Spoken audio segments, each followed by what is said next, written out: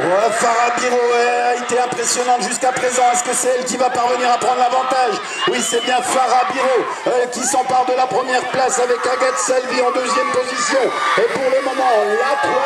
C'est Juliane Jacquin qui l'obtient.